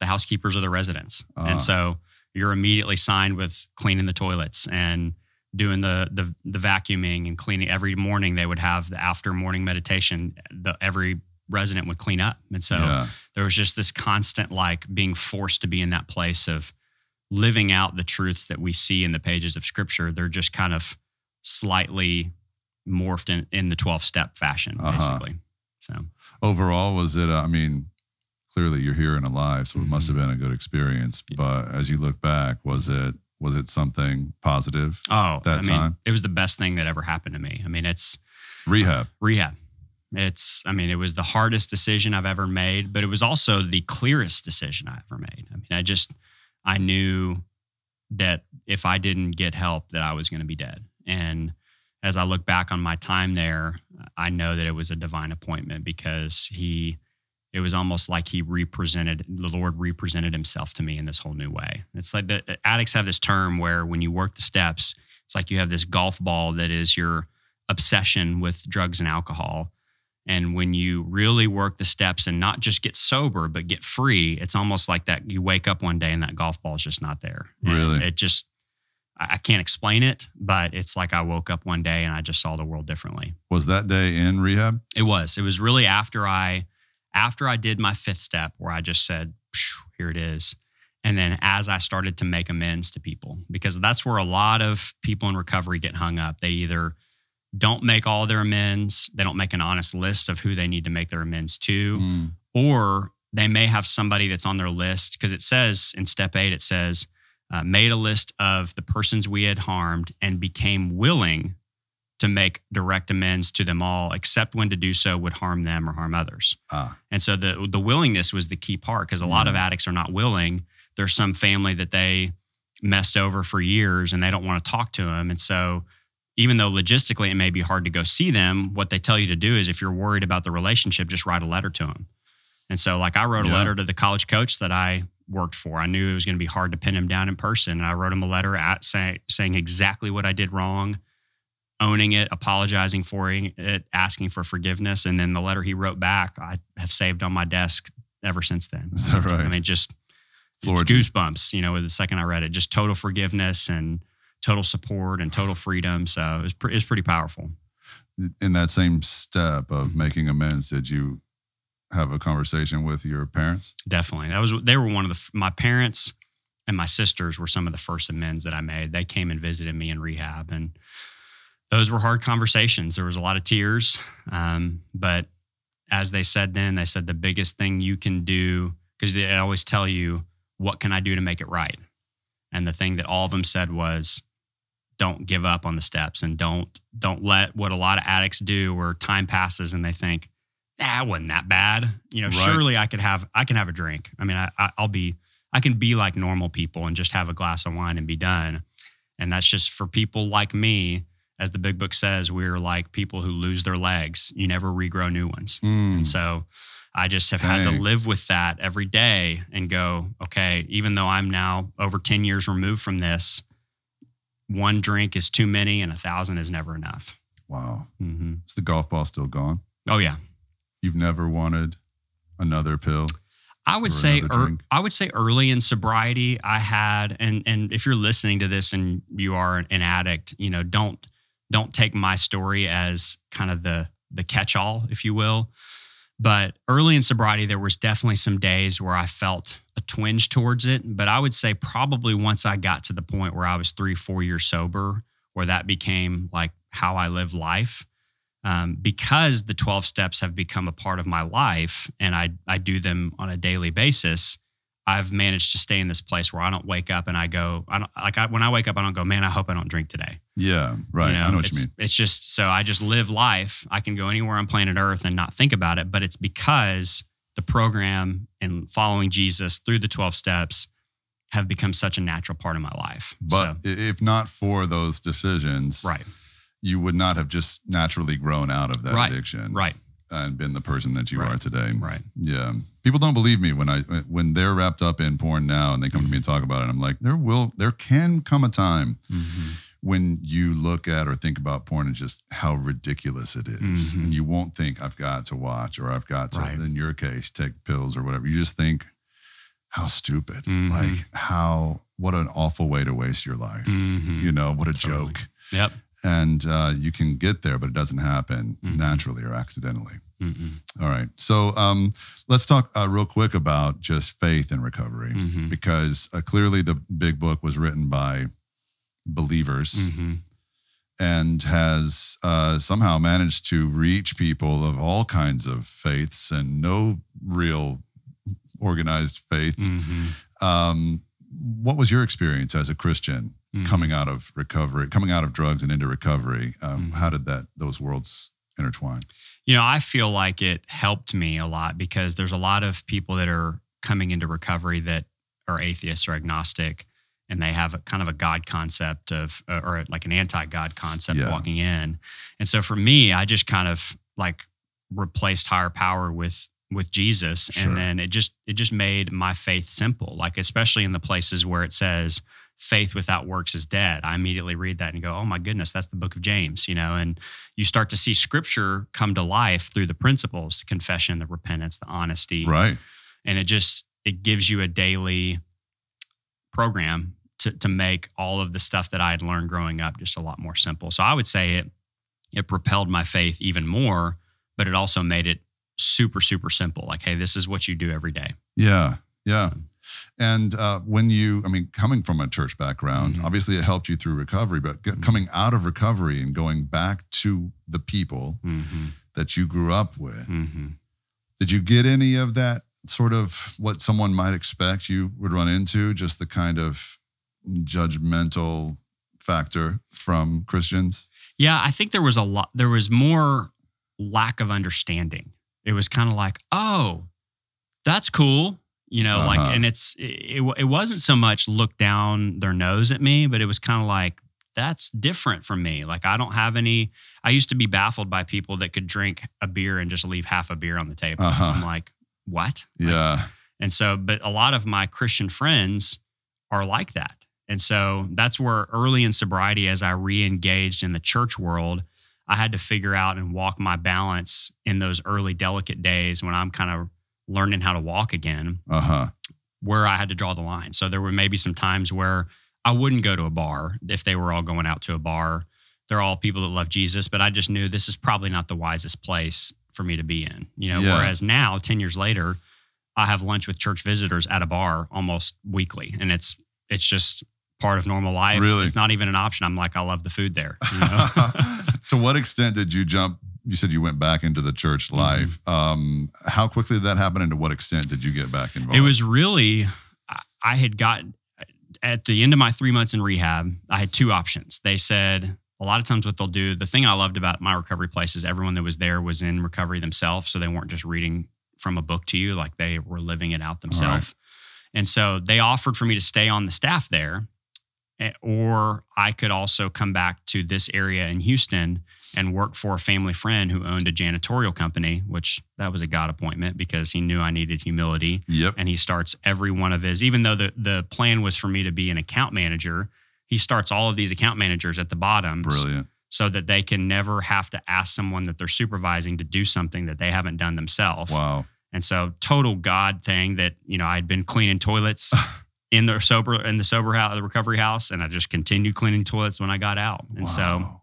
Um, but as I got out, I knew I needed to re-engage with the church because I knew I needed community. And there were several friends that were a part of one of the singles groups at Second that had really loved me. They came to my graduation Uh huh. from rehab, and I'll never forget. This guy's name is Will Bradley. We're still close to this day, and he happened to be teaching the class that week, and he invited me to come hear him teach.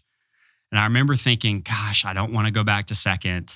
I know I need to get involved in church, but I felt like I owed him a solid because he loved me in a difficult Right. place. Yeah. And so I went one week really just intending to appease him and just was met with complete non-judgment actually. So I mean, had friends that like had heard what I went through and they were like, "Man, we're so glad you're alive. We're so glad you're doing well." Uh, we're here to support you. And then almost immediately, they gave me opportunities to serve. So, like the guy who was directing the class was like, Hey, I need somebody to greet. Are you going to be here every week? Because I want to give you a job. And I was like, Me? I just stopped using drugs like three months ago. okay, sure. So they just gave me a chance to serve. And it was almost like God knew I needed that because I needed something to do to get my mind Sure. off myself. And so How old were you at that point? I was 20, let's see, 2000, I'm 36 now. So I was 26, I want to say. Okay. I was 26 years old and jumped headlong, working for the janitorial company and then serving at every chance I can for the church. And then uh, Still, like most preachers' kids, thinking and swearing you'd never become. swearing, swearing I would never be in. min- I thought I was going to go work in business now. And now that I'm done with baseball and I'm going to go try to, you know, climb the money. corporate ladder, make some money, Yeah. you know, do great things for the kingdom in that way. And as I started serving for those first couple months, I started to feel this tug at my heart. Uh, Uh-oh. Yeah, and I'm like, no, this can't be right.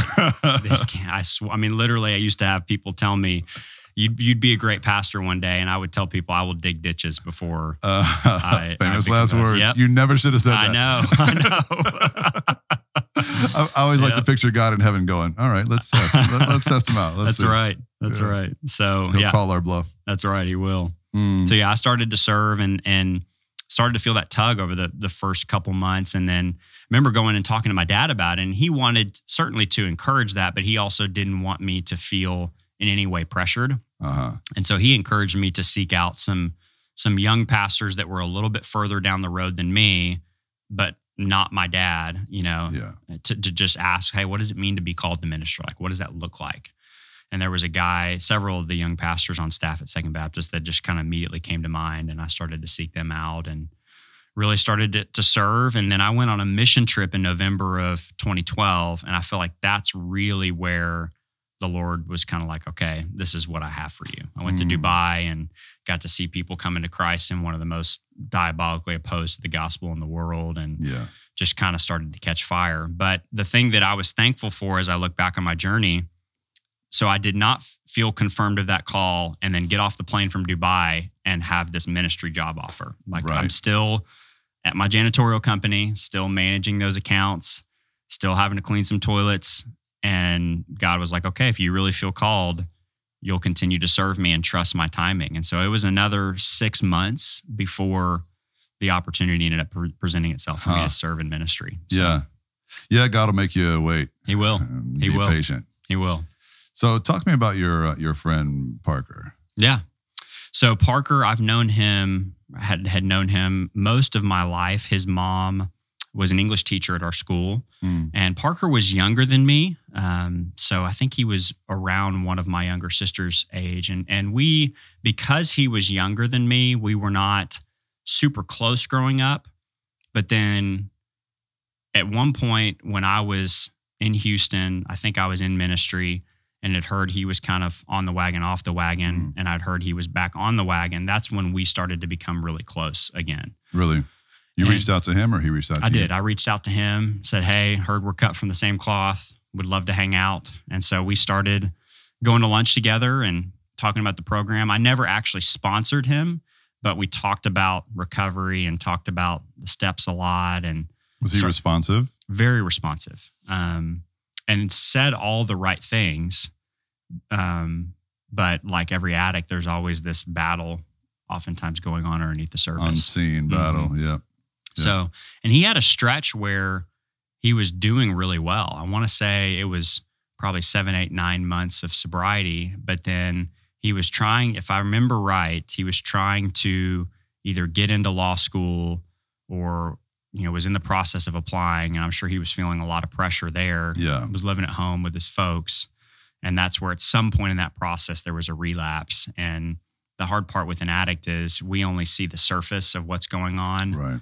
And underneath the surface it's you know way way way way worse Isn't it weird how um, some addicts seem more at risk when they're under a lot of pressure, and Mhm. others seem more at risk whenever there's no pressure and they're Mhm, bored and mhm. idle? yep that's it's a it's a weird balance i mean it's the stress can be something that makes you feel the the twinge a little bit more but it's also the idle time that definitely makes you feel it as well So, So- with um, yeah, with Parker, Mhm. you you feel like the pressure might have pushed him to his limit. Yeah, maybe. I, you know, it's hard to know because that was when he had his final relapse. Um, we were in a season where we weren't talking. It wasn't intentional, but we weren't talking a whole lot. And Sure. I, part of it was I just thought he was doing great. And I mean, I thought uh, last time we had talked, he was getting ready for law school, and my mom and his mom were really close. They they kind of all had a support group for knuckleheaded sons, basically. Yeah. um, you know, sons that are in recovery, and and so um, I just thought he was doing better. And then the next thing I know, we get a call one night that his parents had found him dead in his bathroom, So- Overdose. overdose. Yeah, he was a Parker was a heroin addict, and so Mm. yeah, it was that was something that, but and that was a very surreal thing because we wanted to help their family not have to deal with the aftermath of that. And so me and my dad went up to his room and cleaned out his room and Oh, there I am. You know, I'm probably five, six, seven years sober, and I'm you know picking up pill bottles, but like you know, and throwing them away, and having these flashbacks of my pill bottles, oh my gosh. but also like having being in this weird space of like just completely un, like not feeling any twinge towards it. Like Yeah. I like remember thinking back, going. "S- Me six years ago, I would be opening this up and trying to find one last pill, or be scrambling around on the floor trying to find one last pill, and now I'm just completely free. And it was just a weird. It was almost like God was speaking this, like yeah. this could have been you, Russ. That's right. Mhm. That's the other part of it is that it Mhm. could have been you. Mhm. Could have been your room. Totally. And I, it was a very sobering moment for me and a reminder that you never stop working the steps and you have to treat it like your life depends on it every day. When you are in recovery and you've had a touch point like that with someone who's struggling and then Mm-hmm. they make this decision Mhm. and they're gone, Mhm. do you struggle with shame or guilt for not being a better friend or whatever? You know, yes and no. Um, I also know because I'm in recovery myself, it's something that I had to take ownership of. And so, you know, I know that at some point or another, every addict has to do that same thing for themselves. Like they Yeah. can't have they can't have their hand held through the entire program. In fact, you can almost do more harm if you try to Totally. hold their hand. Totally. I have a friend in Kansas City who um, was my best friend when I lived there for a Mhm. lot of those years, um, but he had a heroin problem. Mm. And I was so green, I didn't even know. I wouldn't know heroin if it was sitting right in front of me. Yeah. Probably I still wouldn't. Yeah. But I know some of the terminology now. I know he loved eight balls, for example. yep. And um, I knew where all of his dealers lived by the time, you know, I was well acquainted with his addiction cycle and getting those calls. I was his call person, I guess, from the hospital because they would call me when he had overdoses. Wow. And I would go and, you know, he had flatlined at least once. Wow. And um, it's just so, it's just obviously it shakes you. It does. You just feel not only do- is the addict powerless, you as the one who loves an addict feel powerless Mhm. over their addiction and, Totally. and their self destructive choices. And Totally. I don't know that there's any across the board right answer for Mm-mm. people that want to love someone well. No, it's it's a hard place because you have to point them to the the things that help, the timeless principles of the program of AA. Yeah. It cracks me up when people say, "Oh, I've tried AA and it didn't work." It's yeah. like, what, what do you think when they say that? I hear that a lot. yeah, I just I think well, at some point they stopped working it. It's my personal take on it. That's how I feel when somebody says, I hate church. Yeah. I tried church once. Right. I didn't like it. Right, Like, well, where'd you go? right, You know, you picked a bad church. right, totally. yeah, that's right. It's right. It's what it picked a place that doesn't love people well and Or, or you just didn't really apply yourself. Totally. Yeah. There, there's an element of our faith that requires a response on our part. You know, not not for our obviously not for our salvation, but Sure. for our continued pursuit. That's that's on us. Right. So yeah, when people say I tried AA and it didn't work, it's just, you know, at some point or another, I think it's just a manifestation of their own excuses, their own selfishness in many ways. And, you know, no offense. I know some people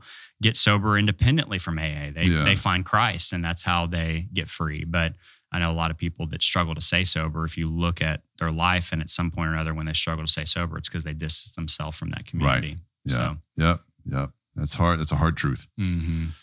but it applies across the board from Mhm. recovery to church to Mhm. relationships. everything. So, um, uh, at what point did you actually throw your hat in the ring and become a full fledged pastor? What It- year was that? It was 2013. So I'd been sober for a little over a year. And that was one of the things. So I never thought I'd end up in ministry, never thought I would work at my home church. And so that that mission trip was November of 2012. Again, I had to work another serve another six months, kept serving.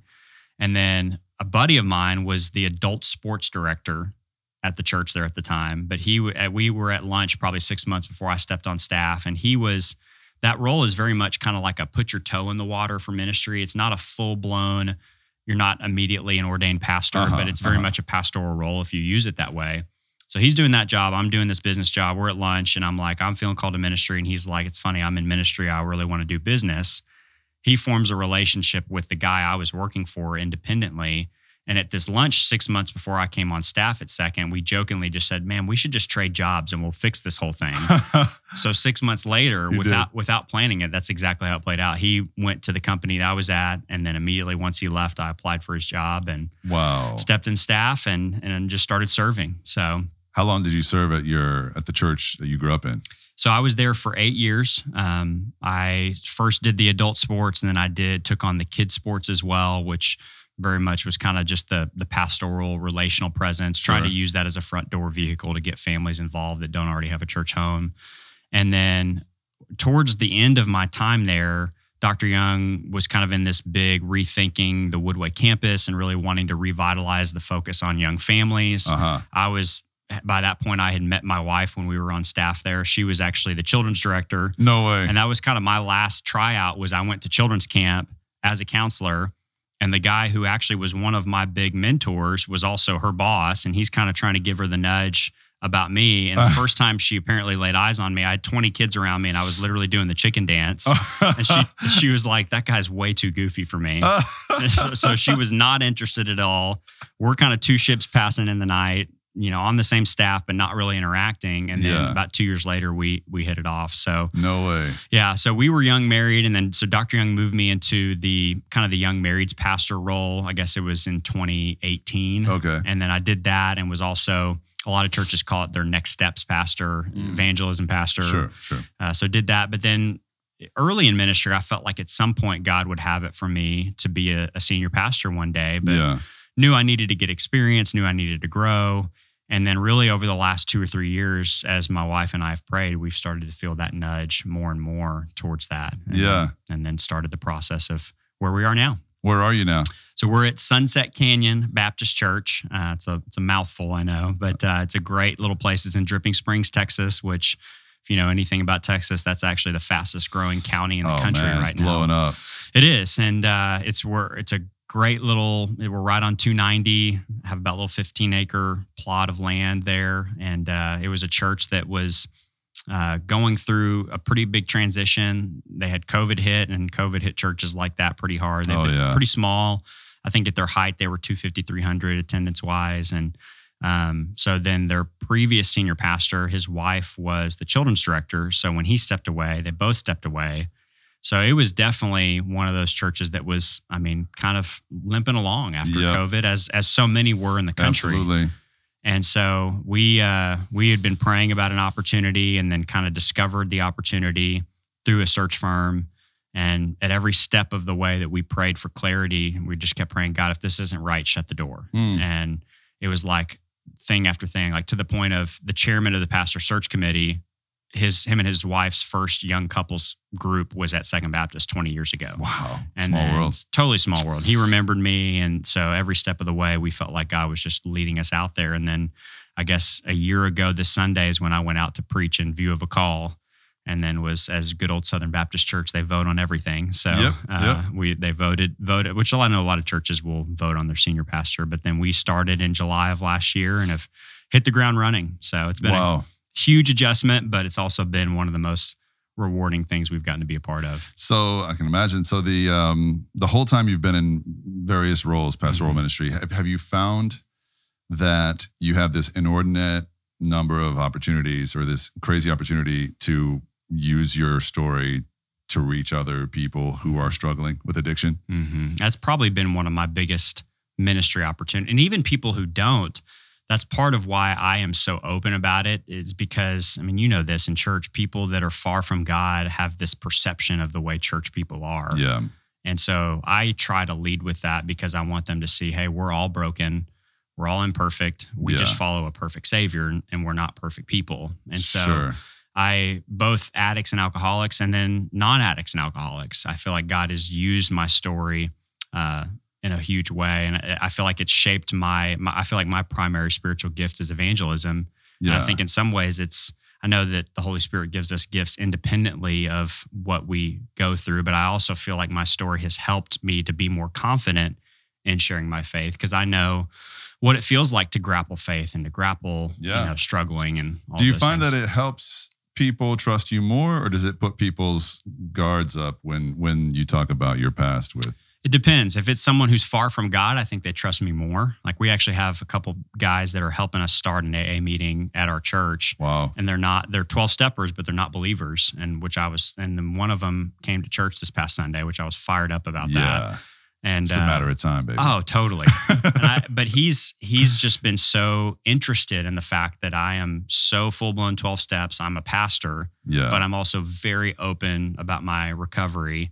So for someone like him, I think there's definitely a an endearment. But then church people sometimes get the wide eyed, you know, like Yeah. whoa, whoa, you know. right. So, Yeah. but um, most most non believers, are, I think, are more attracted to that than Sure. turned away. I know there's one couple in particular that someone on our team, maybe Julie or Mhm. Andrea, have talked to you about. Mhm. Um, I don't know how much we can share about them, but Yeah, they're they're Um, very open about it. So yeah, we can share as much as we want to. Yeah, uh, the guy, Yeah, Luke. Luke, hmm um, on and off the the wagon, I guess, hmm uh, struggling with. I don't know exactly what the addiction is, but It's mostly alcohol, but he's also, I think he would say, he's one of those kind of whatever changes the way you feel. So, right, right, right, sure. Mhm. So, uh, tell us about your experience with them, and so I, yeah, and I'm actually sponsoring him now. Oh, wow. Um, yeah, Awesome. I started taking him under my wing and walking him through the steps. But he just got out of. He went to recovery for a month and just got out. And his fiance is also in recovery as well. oh wow, and she's actually it's it's interesting she's a recovered heroin addict but then about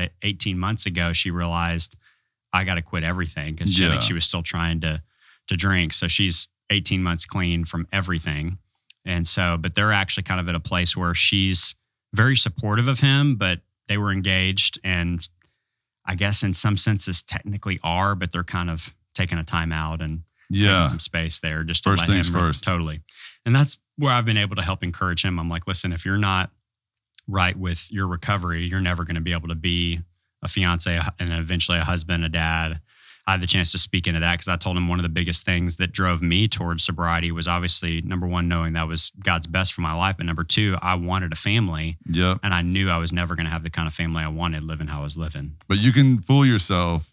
I've seen people fool themselves into uh, replacing alcohol or Mhm. something with um, romantic relationship, totally. And because that changes how they feel, totally. Just like alcohol, totally. Right? But only for a little while. right It doesn't always work out Yep. for very Mhm. long. Mhm. People can do that too. It's and and Dr. Lembke talked about this too. She was like, people get hung up on addictions being about the substance. Mhm. It's really more. It's really more about um, the why Mhm. and the, as you mentioned, the the stack of trash in the back of your truck, like the unmanageable Totally. aspect of it. That's really how we should be defining addiction Totally. and uh, and how we're doing. Do you have any um, grasp or concept about why it's harder for some people than others about like staying sober? I have some theories. You know, I'd be curious what Dr. Lembke thinks on this, but I look at a lot of my friends that have struggled to stay sober, and not all of them, but the vast majority of them fell into it at a very young age. Like, Mm. got drunk when they were 11 years old and were like, this is awesome. Maybe fell upon some friend's liquor cabinet or whatever. I was fortunate that I had 19, 20 years of life without it. Yeah. And so now I don't know if there, I, I think there's probably some science that supports this because you're going through such formational stuff in your brain. And at Yeah. the same time, you're getting drunk or getting high on pills during that season. And so a lot of my friends that struggle to stay sober, they don't have a whole lot of recollection of what life was like without it. Mm. So I, I think there's some level of that, and that's why it's the steps are important for all of us, but I think they're especially important for those that just fell into it at a really young age. So then I have to ask, man, because like probably more than half the families at our churches Mhm. have at least one kid who's been Mhm. prescribed some stuff hmm similar to what you were messed Mhm. up with later in Mhm. life. What do you tell parents that ask you in confidence, like, Yeah. should we do this for our usually our son, Yeah, totally. our kid? Yeah. It's, I mean, if they have a really tight rein on it, I will say part of it for me. So I didn't start taking Adderall until I was a That's young right. adult. And Yeah. so some, at least with Adderall, a lot of times it's actually the opposite. If they're exposed to it as in like, hey, this is your vitamin basically Uh-huh. as at a young age, they may end up struggling with some other form of addiction. But a lot of times, at least specifically with Adderall, they're just kind of used to that being almost their daily vitamin. Not always. Sometimes they discover later in life that if you take more than you're prescribed, you can get really, really high on it. Yeah. But um, I've just found a lot of people that if they are exposed to it at a young age, as long as it's managed well and they're not abusing it now, pain pills and other stuff like that, that's a whole different ball game. Yeah, So, sure. It's just uh, got to be real careful, right? What totally. you tell parents, totally, um, because it does these medications Yeah. do good things, totally.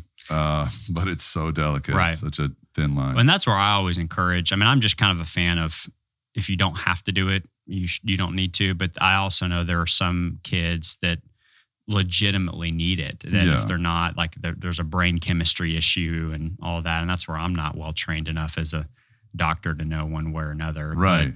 you know, I always encourage parents to ask the question: Is it just a way to just kind of get the problem fixed, or is it something that like there's major, major, major behavior problems? Yeah, you know, yeah. if if they don't have that. Are there general sort of things you tend to tell families, loved ones of addicts when they come to you worried, sick about, Mhm. you know, just like your parents were at a time Mhm. when they were wondering with every phone call, like, is this the Is this one? Mhm. Uh, what do you tell people generally? Yeah, I just say you got to tell them the truth, and you, I always make sure they take a hard look to make sure they're not enabling them. A lot of times they're trying in an effort to love them, but they're letting them stay in their house for free, and You know the car is paid for by the parents, and they're Yep. getting an allowance, and it's like, dude, you're 26 years old and you have a college degree, like get a job and you sleep until 11 o'clock. I But we think it's love. Right, totally. So, I mean, they've they've got. I mean, that was part of what I helped me because my parents gave me the option. They said you either need to get clean and go to rehab, or basically we're cutting you off. Like you'll never Mm. stop being our son, but we're not going to support this any longer. Really. And so They stood they they stood their ground. stood their ground. And it's the the scary part was I still had a decent chunk of money that I could have run to the ground, and so I know a lot of addicts do that, but I just knew how desperate it was for me personally. But a lot of families and a lot of kids never get to that point because they never are faced with the reality of the consequences of their decisions. They Right. have the soft landing bed as opposed to hitting rock bottom. So you're a you're a proponent of the rock bottom theory. Totally. I'm like, man, make it hurt. Mm, yeah, it's funny. Dr. Lembke kind of uh, alluded to the same. Yeah. She said actually financial, ongoing financial support with Mhm. no consequences. Yep. You know, for bad behavior or anything Yep. like that. Like that. That is in many ways the worst thing you can do Totally. for someone. Totally. But it's so it's way easier said than done. Oh, done. totally. Because when you got somebody you love who's barely hanging on by a thread, Totally. and you think pulling financial support from them might be what sent them over the edge, Totally. it's real easy for your heart to overcome your mind Right. Mm-hmm. start to think, well, what if I contribute to their Mhm. ultimate demise? Mm-hmm. It's rough. It is rough. It's a hard place to be and makes me, um, you know, look back and not thrilled about what I put my parents through, but Mm. grateful that God had his hand on me. You know what's wild talking about God is I've noticed sin works like addiction, Mm-hmm. like writ large, right? Generally speaking. I just think when when you look at how people struggle with sin generally, Mhm. we've got a few things we call addiction, right? Right. But like sin, that's just what sin does. Right. And it behaves in the same patterns. And if we, that's why I think the big book is for everyone. I think agree. everyone could learn a lot from it. Totally. Um, but it really, when we talk about how grueling it is to love an addict, Mm-hmm. it really gives you a window into the heart of God Mm-hmm. and how it must. I, I don't know if God has feelings like we have feelings, but Mm-hmm. Bible talks a lot about you know what what God endures to love us. Totally. And um, you know, loving one addict is one thing. Loving eight billion of us at a time, it's got to be another. Totally. And uh, and yet his, you know, the promise of Scripture cover to cover is that his love endures, Mhm. and that his love poured out on the cross is more than enough to cover our iniquities and to make amends in a way on our behalf, if that Totally. makes sense. But to bridge that gap. Totally.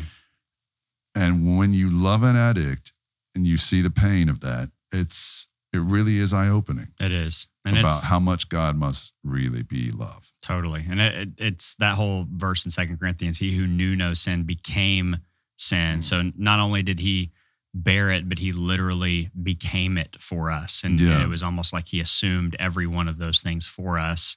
Why? So that we could become the righteousness of God. So Right. He can look at us as pure. He didn't he didn't pay our bills in a way that made our life easy. Right.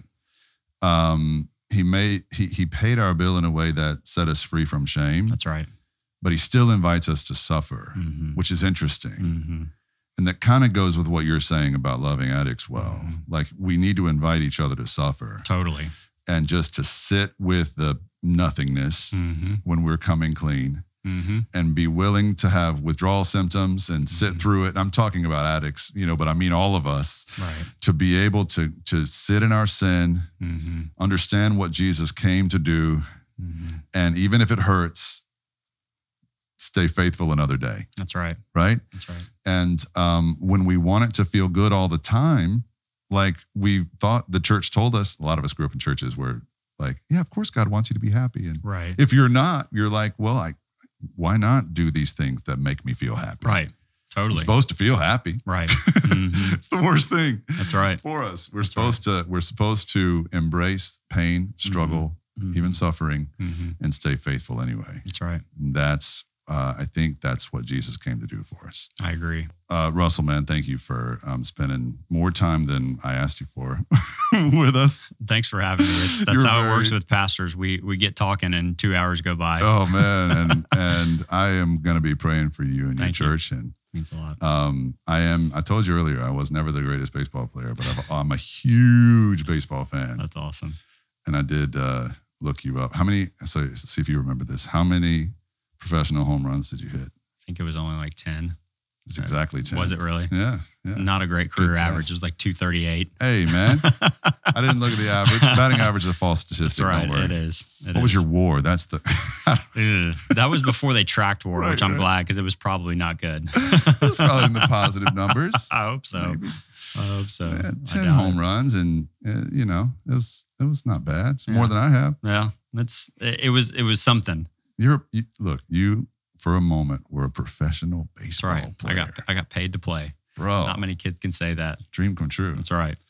And then you fell on some hard years, but Mhm. God's faithful, He is faithful indeed. and you said yes to His faithfulness, hmm and now He's living through you Mm. and using your story to change lives, bro. Thank you. Is there anything better? No, nothing better than that. Isn't it better, even if you had won the College World Series or Mhm. gotten that call to the big leagues? It's uh, I tell people that all the time. I wouldn't if even if the Astros called and said, "Hey, we want to sign you," I'd say, "I'm sorry, I'm right in the middle of Really? God's will." I'm I not mean, sure I would say. yeah, it depends. I mean, if they want to, you know, help boost our, our giving for a little while, There then you you, go. know. There you go. What's the tithe on the minimum That's right, salary? exactly. Thank y'all for uh, for tuning into this uh, YouTube channel, and uh, be sure to like this video if you enjoyed this conversation with Russell Dixon, and uh, subscribe to Maybe God's YouTube channel so you can uh, get notified. Be sure to hit that bell, right? So you can uh, be notified of all our new content that uh, is sure to be coming out pretty soon. Thank you all so much, and uh, Russell, thank you again for being with us, man. Thanks for having me.